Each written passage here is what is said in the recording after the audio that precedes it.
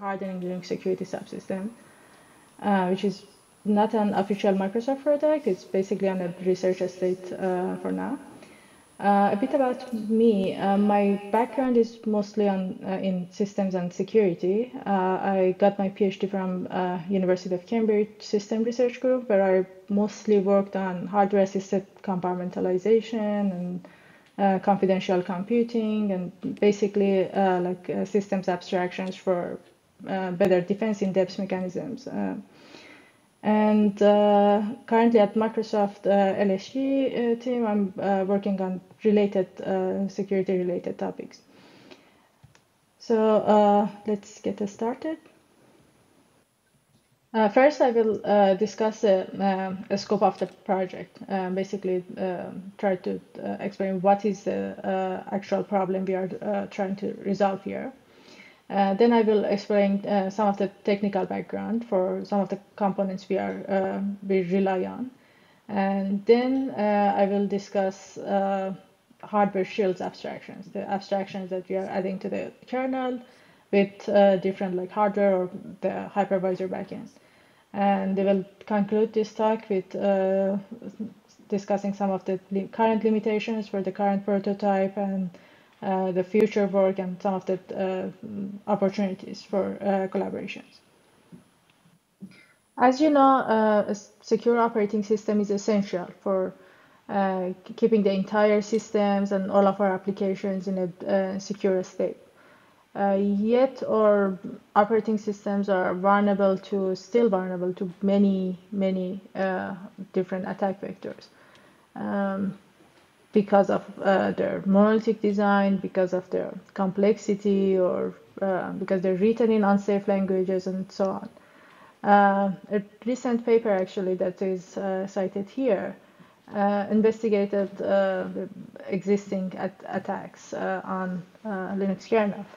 And their security analysis shows that most of these attacks, about like more than 75% of attacks on the kernel, are related to memory safe, uh, safety issues and also uh, lack of proper privilege separation.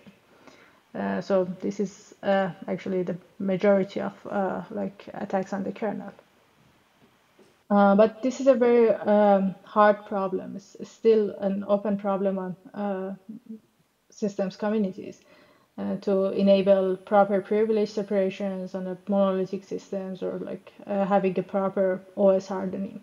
Uh, but we had uh, amazing progress on uh, control flow integrity techniques and fuzzing techniques, but these are still not enough.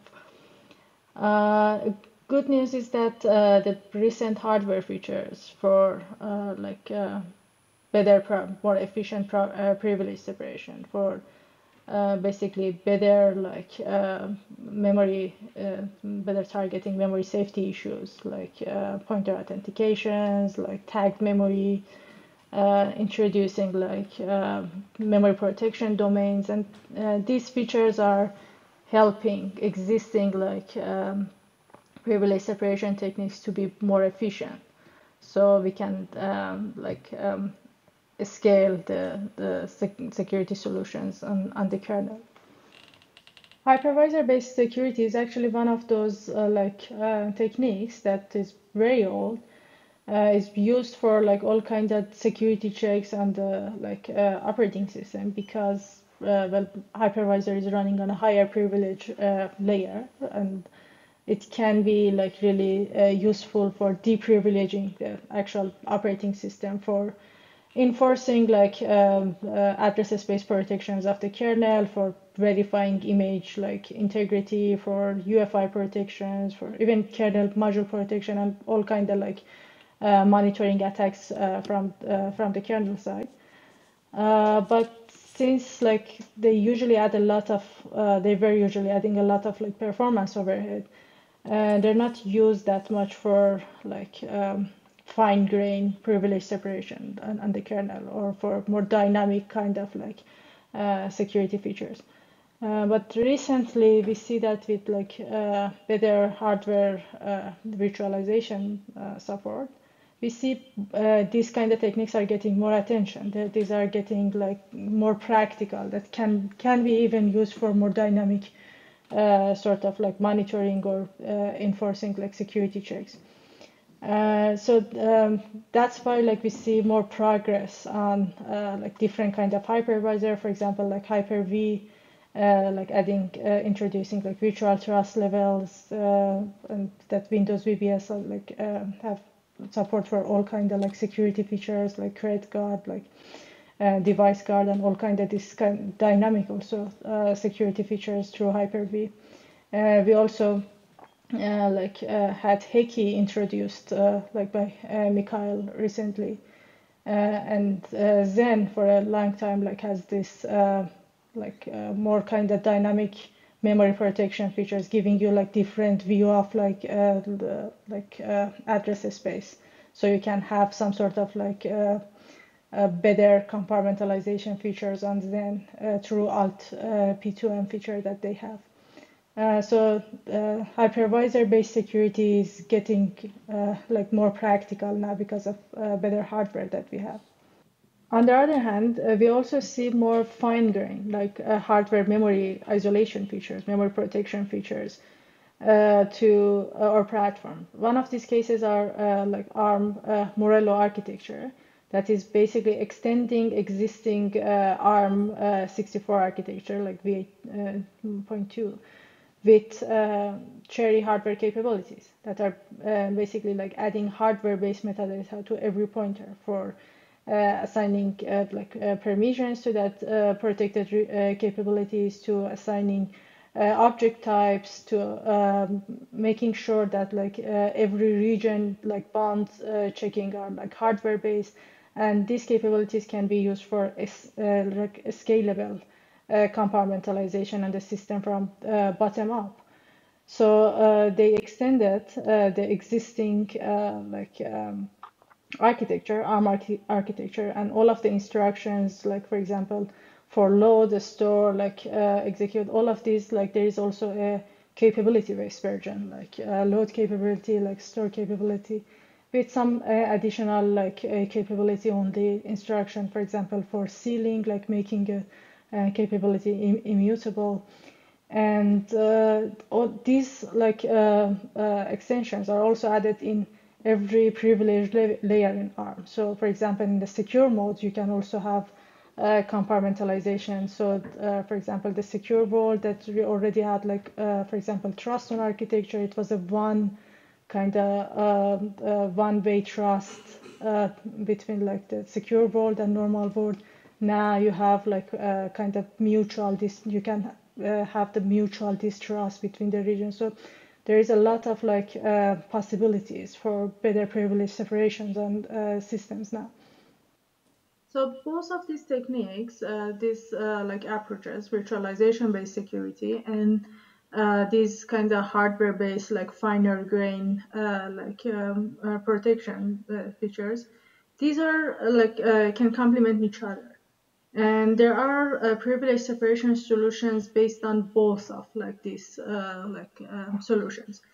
And uh, for hardware shield abstraction, we were looking at the state of the art for uh, these two approaches. And uh, we want to like have the uh, abstraction that is providing a minimal like security primitives that can be used like in extensible and like scalable way uh, for hardening Linux kernel security subsystems, such as SELinux, like IMA, like LSMs and like eBPF. And we were looking at like uh, what are basically these uh, these minimal uh, primitives that uh, can have a different backends. It can the enforcement and the uh, like isolation. It can happen with like virtualization-based security and when it's not efficient anymore when it's like uh, like it's more useful and we have like a better hardware like finer grain hardware protection like CHERI or like memory uh, like tagging features like mte PAC like protect authentication we can then switch to like uh, enforce the actual like isolation through uh, those features and this way we can have like a scalable and more kind of practical solution that we can find the right balance between performance and like security So between these uh, like primitives, uh, the main thing in common is like uh, memory isolation, uh, like that is provided, that can be provided with both of these approaches. Then there is code and uh, data signing and authentication.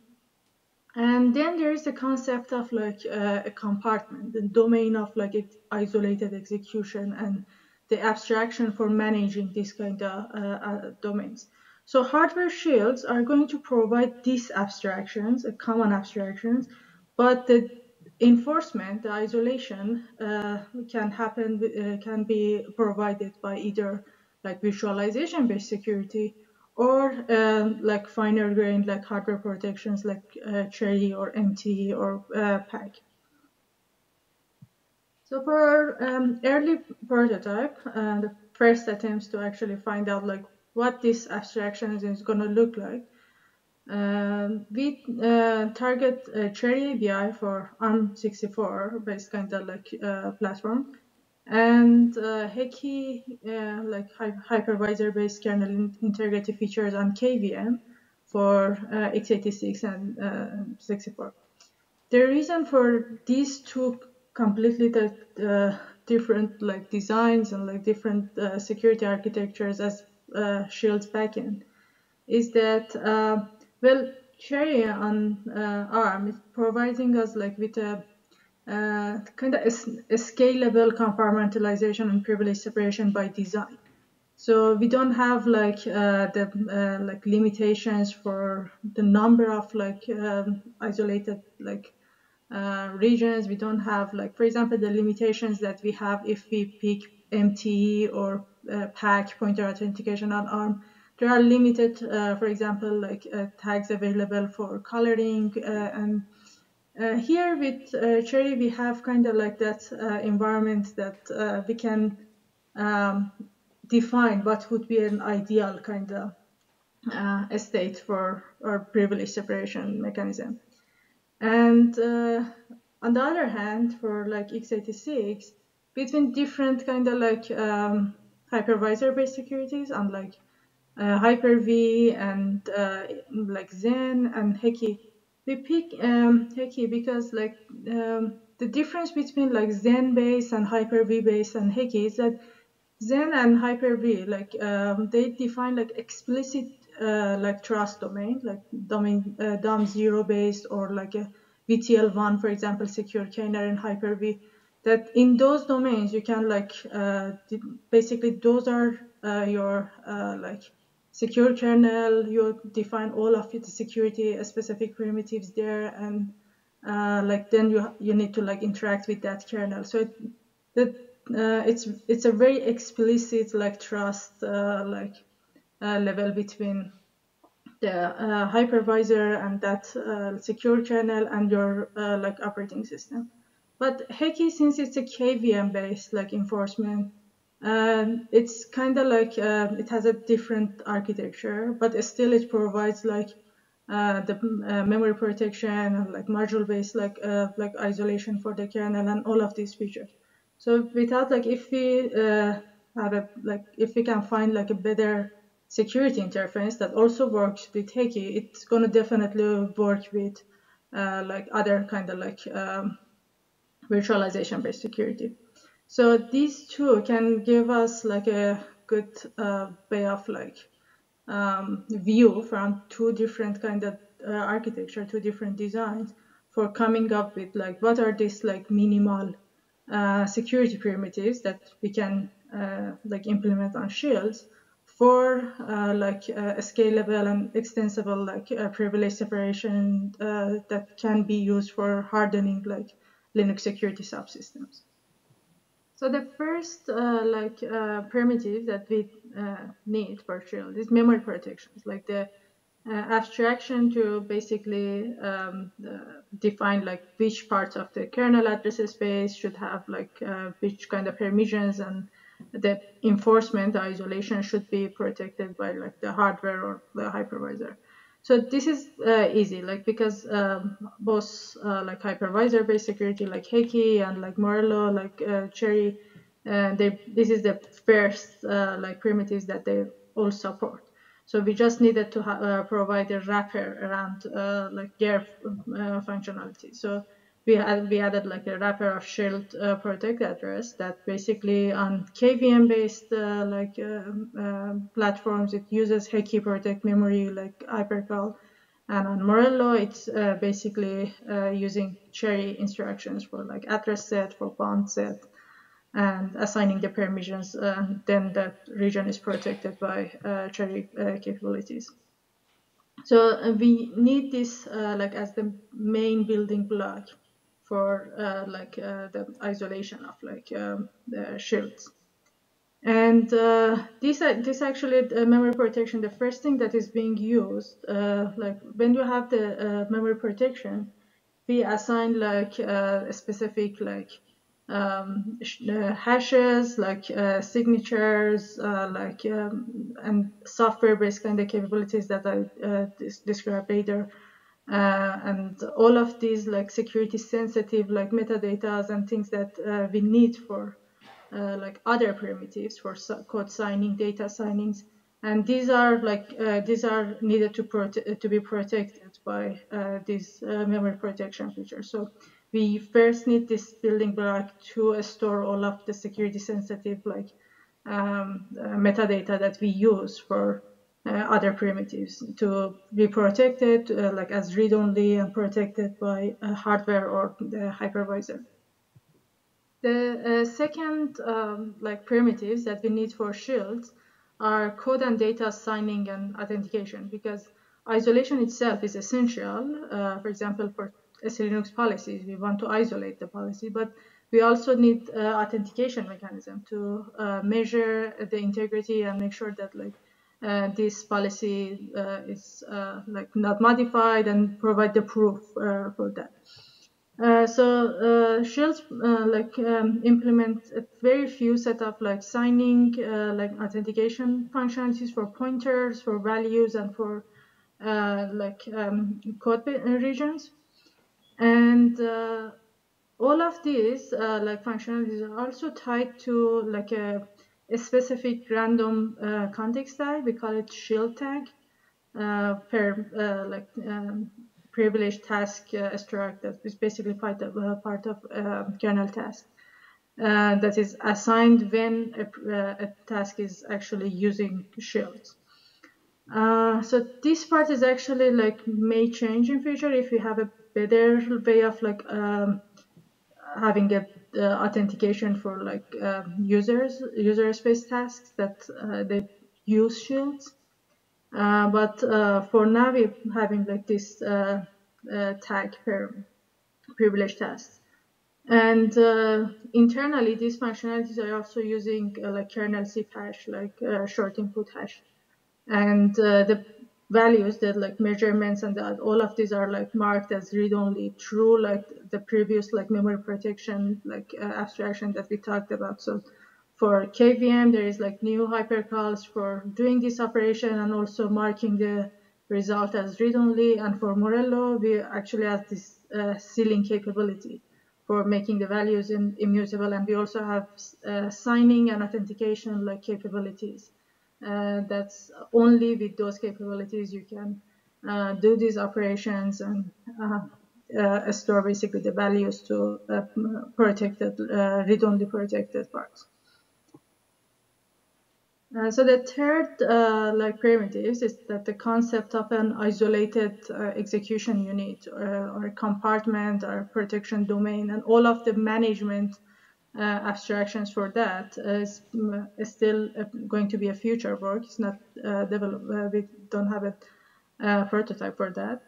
Uh, but even with the uh, like memory protection and the authentication and signing uh, like primitives, we can start improving the security of our current like security subsystems like SELinux.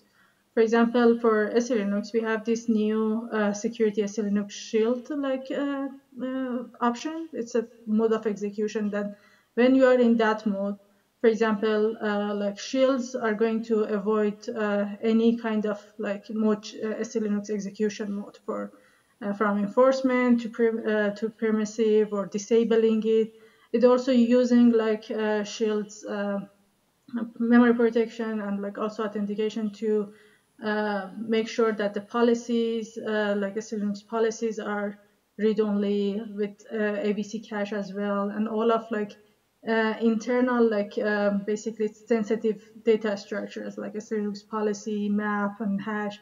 All of these are also like protected uh, by uh, like um, shields that the backend can be like dif different backends. Uh, so uh, for um, prototyping on like CHERI, that's basically our first uh, like implementation. Uh, we used Morello Android uh, kernel for that. We extended like the Android kernel for with uh, these primitives, Shields primitives, and because like for on Android we could have Morello based like compiled libSELinux um, then basically you need to like have a cross compile with a specific CHERI like compiler and things like that. And uh, for now, I haven't tested like anything on uh, real ARM, like um, real ARM with FVP. Like, but it's a very uh, good development environment. It's a little bit slow with, um, uh, but uh, on FVP, for example, like if you go to like Morello project and you can you have there you have a, a simple script with uh, like uh, initializing the FVP with uh, Android software stack, and um, then you can have like a very kind of easy development environment for that. So uh, since this is a, short talk, I'm not going to uh, more uh, technical details now.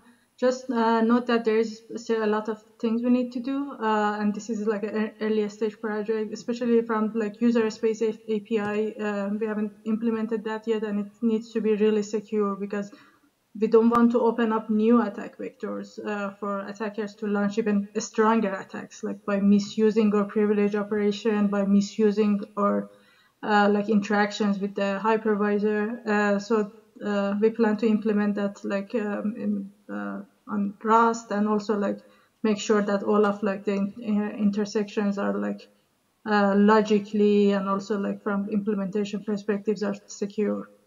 Uh, also, we need to uh, after we got feedback from the first patches, we need to think about the integration with other Linux security features like for hardening eBPF, for example, or seccomp and things like that. Uh, similarly, there are other hardware security features that uh, can be integrated to shields. For example, PKS, uh, like protection domains on uh, supervisor mode for Intel. That uh, basically Intel actually has a prototype for using that for um, hardening eBPF like verifier. so integrating things like that or using like MT and PAC on ARM devices when uh, there is no CHERI available. These are uh, like uh, important future works that we can like implement better privilege separation tools for Linux kernel. Uh, with that, uh, I'm happy to take any question. Please contact me if you need more details and uh, if you, or you have any questions. And um, thank you for your attention.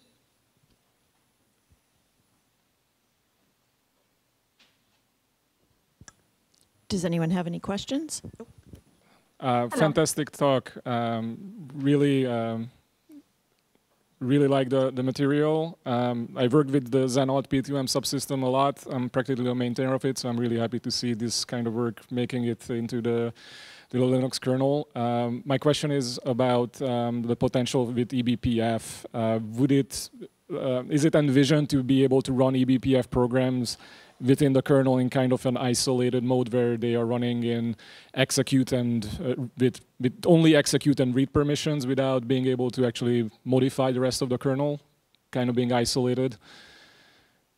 Um, yes, uh, actually, like um, it's uh, so I picked first like SELinux because uh, like it's like it's it's not easier, but it's like kind of more like um, straightforward than uh, and um, for for that actually uh, it's it's actually like uh, our next uh, plan uh, the verifier itself and also like the um, policies but it's a very large code base so uh, the main thing like uh, first i want to make sure is that like these like small primitives are good enough you know for like um, the, because we, we also need like a lot of performance like evaluations. Like the current state, I I assume like it's going to like add maybe like up to uh, ten percent like overhead. So um, if we come up with like an optimized version that is not going to like even uh, make it eBPF make it uh, make eBPF slower, then uh, definitely. And uh, yeah, we also need a lot of feedback from uh, open source community. I'm going to um, launch uh, like basically make things open source probably in like by end of this month or so, and then we can work on the optimization part. But Actually, the Xen uh, altp2m is like a really has a really nice design. So I would be really uh, happy to uh, catch up if we can have uh, like integrated these two together. Fantastic. And you answered my second question: is whether you're going to be open sourcing your stuff. I'm looking forward to it. So um, yeah, thanks definitely. again for the talk. Thank you.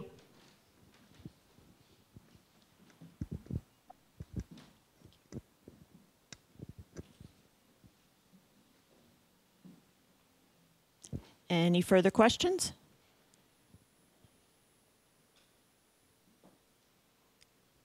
Okay, thank you very much for joining us over Zoom. Thank, Thank you. you.